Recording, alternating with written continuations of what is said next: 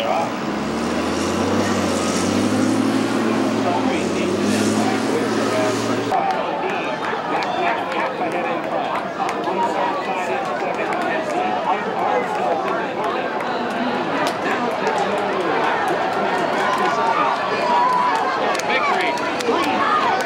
really happy and honored, you know, to be here in, in California, and you know, I have a lot, of, I have, a, have a lot of opportunities, and you know, really happy for, really happy for this moment. With his victory here in race number one, jockey Rafael Bejarano has now 3,000 victories.